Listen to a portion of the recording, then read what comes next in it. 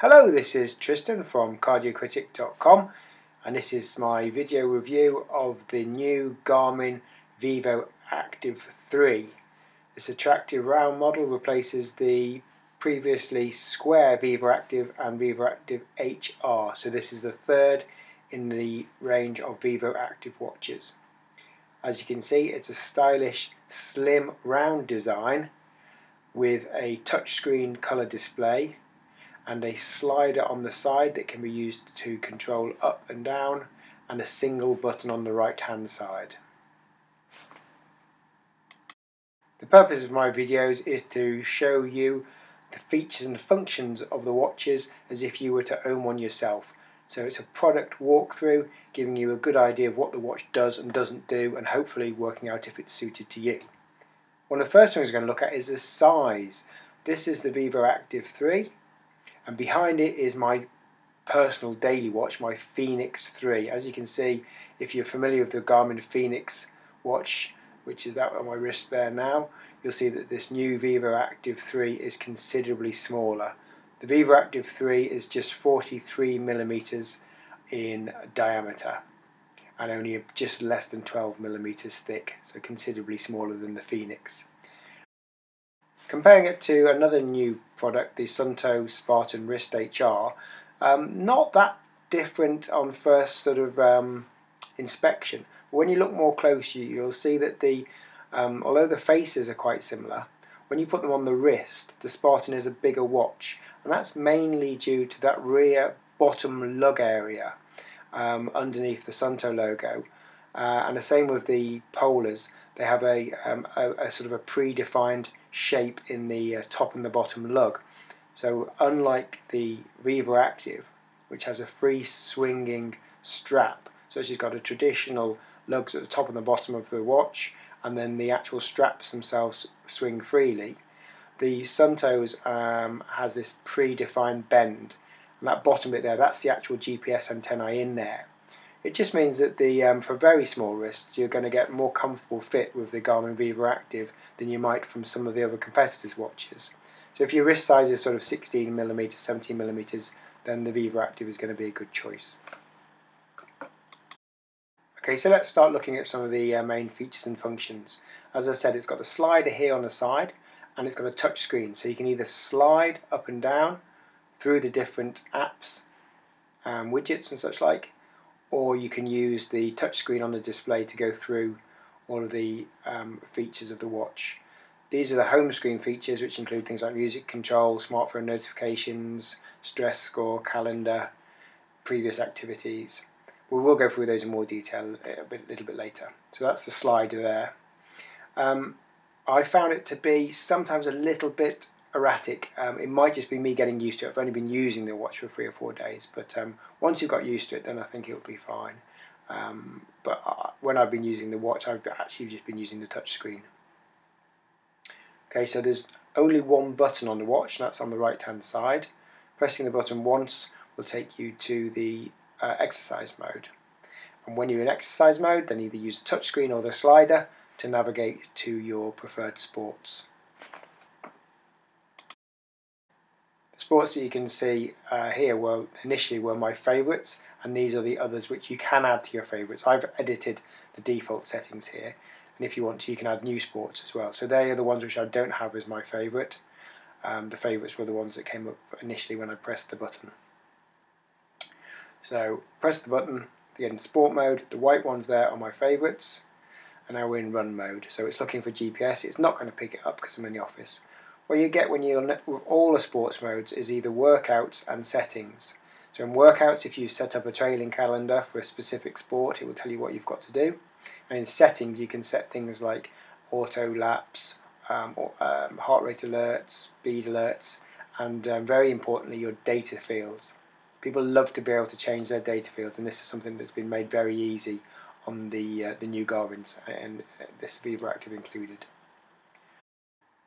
you've got to choose between one, two, three, and four lines of data fields per training page. The white ones um, give you full access to all the data metrics. The black ones just give you access to some of the more top level sort of system ones like time of day and distance. So if you want to have as many options as you can, choose the white ones and not the black ones.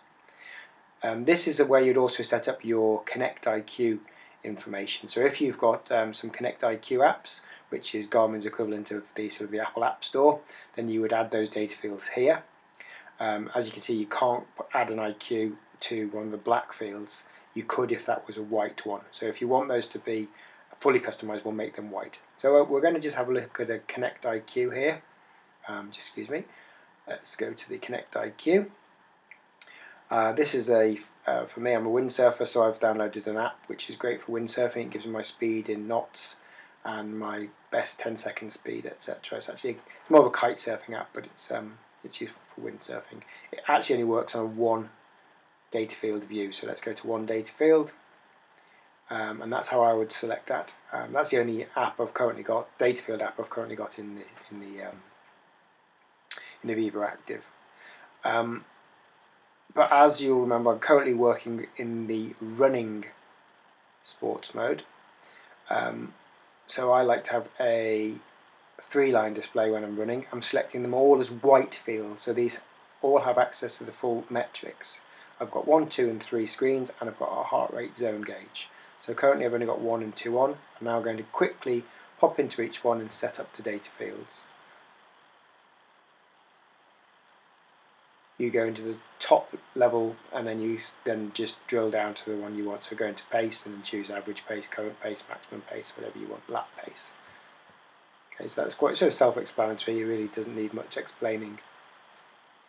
And that's the beauty of the Vivoactive. It's just super easy to use. Once you've spent half an hour or so playing with the menus and such like, you'll you'll know exactly what you're doing.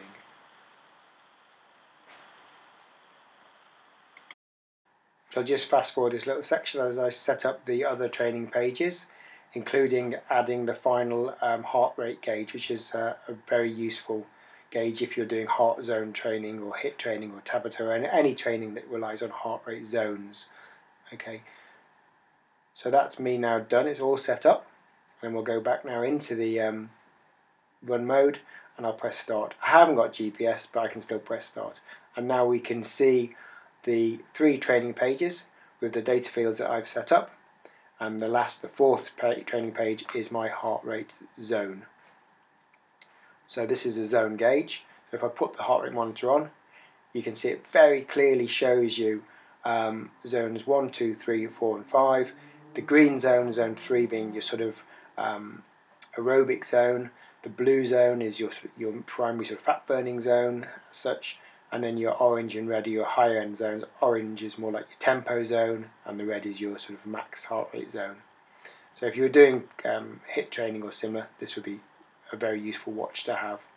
Um, previously, I've been recommending the Garmin Forerunner 235 or the Polar M400 or the M430, and I think this will be the HIIT training watch I'll be recommending for 2018.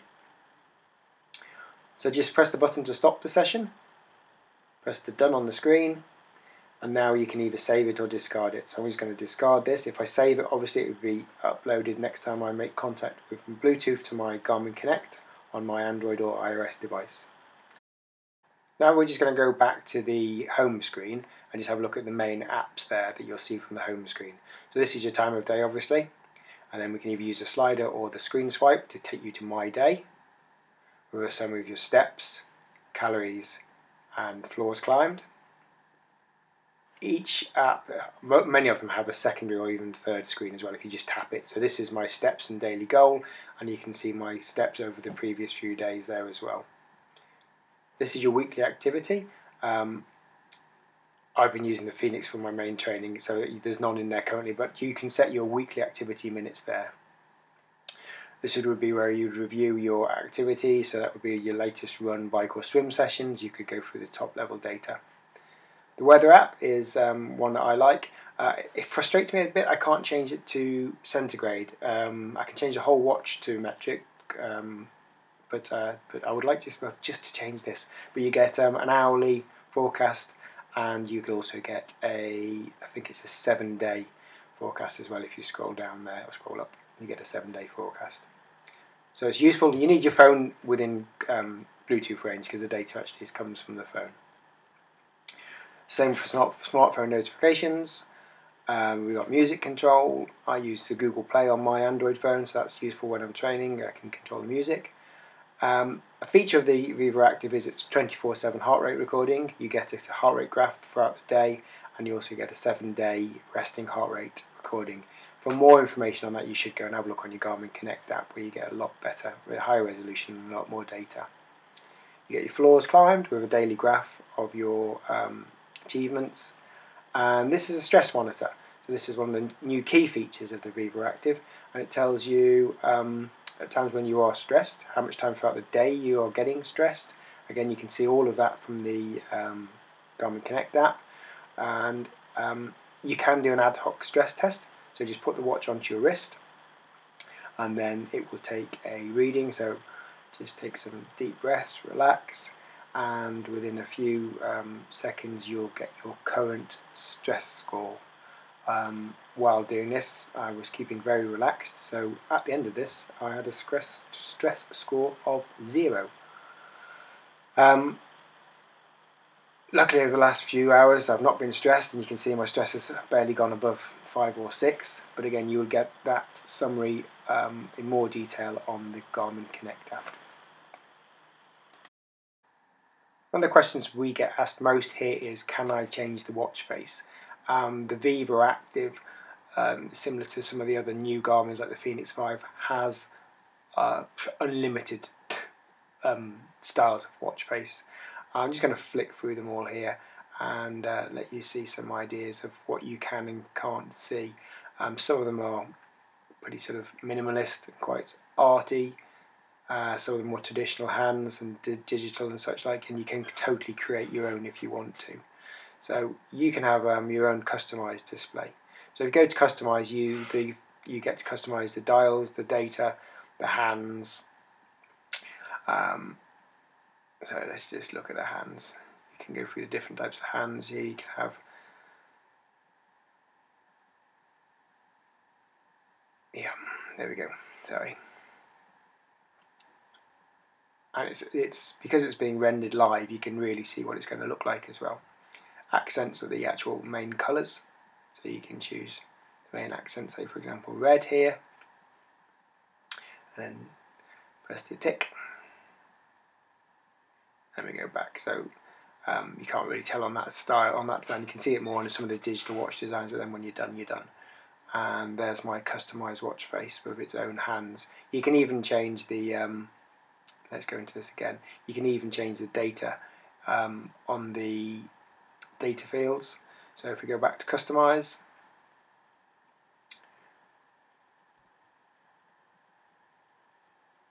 okay, so I'm just going to go through a few of the other designs here. As you can see, it's pretty well. that's why I chose red, so you can see the red is a lot more prominent in some of the designs.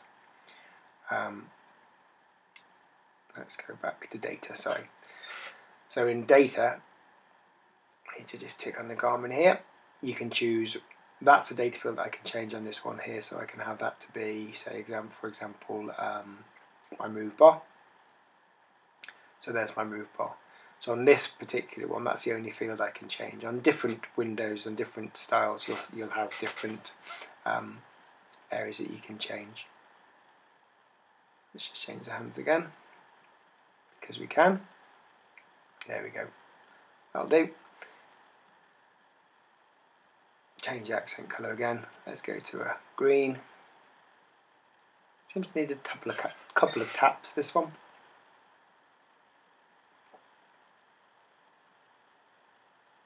Can't really see it on there. That's it, done. And there we go. That's another customised display. So whatever your preference, um, the Vivoactive 3 has it covered. There's loads of other things you can find from settings from pressing and holding the display. I'm just going to flip through a few of them, nothing specific. This is where you'd find the history of your training sessions. This is where you'll find My Stats, where you get your VO2 max, your personal records, your resting heart rate data. It's all stored in the watch, but obviously it's all stored in the um, app as well. Um, under settings is where you get um, your activities, widgets, controls, etc. I will go into those in a minute. Ba basically, you'll see all, you don't get don't be put off by all these things. When you get the watch and turn it on and power it up and charge it and pair it to your phone, then you don't have to really go into any of this. The watch will work without doing all, all, all this. This is just if you want to personalize the watch specifically to your requirements. So let's go into some of the activities. This activities and apps. This is where you make them either a favorite or disable them totally, and then each one of them has its own settings. As we saw earlier with the things like the data fields, so for swimming you can pool swim, we can set the length of the pool, the data screens, the colours, etc. So all of these sports profiles can be customized there. Widgets, um, widgets are the ones that you'll see on the um, home page normally. So you can add them, you can disable them. You can, if you've got new ones, if you want to find new ones completely, then you use your Connect app. Um, but this will, there's certain ones here which are I've just turned off. So for example, golf or the verb light control or the calories. So you can add them and remove them there. Uh, most people who use Vivoactive 3 will be making use of the built-in GPS and the heart rate, but if you want to add third-party or Garmin external sensors, you can add, uh, you can pair it with a heart rate belt, a speed sensor, cadence sensor, or a foot pod. But remember, it does have um, its own built-in GPS and accelerometer for indoor running. So you, I don't, I don't think that's something the majority of customers will will want to make use of. Okay, we're coming to the end of the review. One thing I forgot to say was the shortcut option. If you press and hold the button on the Vivoactive 3, it conveniently takes you to the shortcut. So from here you can do Find My Phone or you can, um, there we go, Find My Phone. Um, the audio is not on there, you wouldn't hear, but it's actually making a bleepy noise. You can change the background of the watch. You can put the watch into Do Not Disturb. You can turn the watch off, so it's pressing and holding the button on the right to get to that. To customize what you see in there, you go to the controls menu. And from the controls menu, you can add and remove the shortcut features. So if you want to remove one, just tap on it and then you'll get the little bin in the middle, uh, which you can then press to take that away. So if you want to add something there, you can just do that from these options here. It's a useful feature actually, something I really like. Um, so let's just add flashlight and that's done. So press and hold to get to the shortcut menu, press the flashlight and that's it. So there's no messing around going into settings. Um, it just if you've got you know, half a dozen um, widgets that you always like to use, then put them into your shortcuts and you'll have quick access to them. Um, and everything that these all these features, the build quality, the comfort of the strap, the accuracy of the heart rate, um, the clarity of the display, everything about the Vivoactive 3 is spot on. I can't see how I couldn't give it a 5 out of 5 star review. I genuinely can't. It is such a good watch. The only people who probably shouldn't buy this watch are genuine um, elite triathletes because it doesn't have access to the triathlete mode. So if you are a triathlete, then you should be looking at something like the 935 Garmin Forerunner 935, the Suunto Spartan Trainer, or even the older 735 XT or the 920 from Garmin because they have dedicated triathlon mode.